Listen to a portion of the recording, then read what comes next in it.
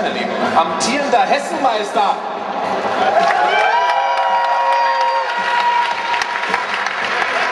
So eine Leute laden wir für euch ein. Guck mal an.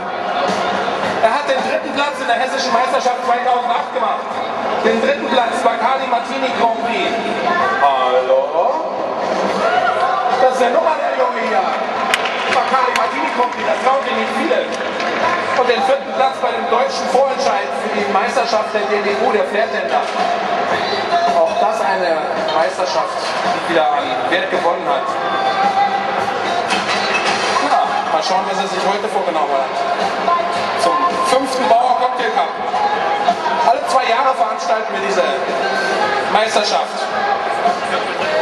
Kleine nationale Geschichte angefangen 2001 in Potsdam.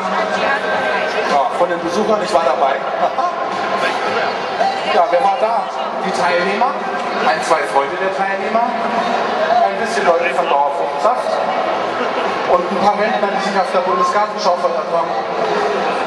Und die haben gesagt, was machen denn Jungs da oben? So, ja, dann waren wir zweimal in Dante in Berlin.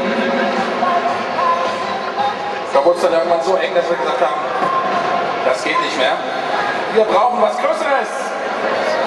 Und seitdem sind wir hier. Der Hussein, der hat jetzt auch keine Lust mehr zu warten.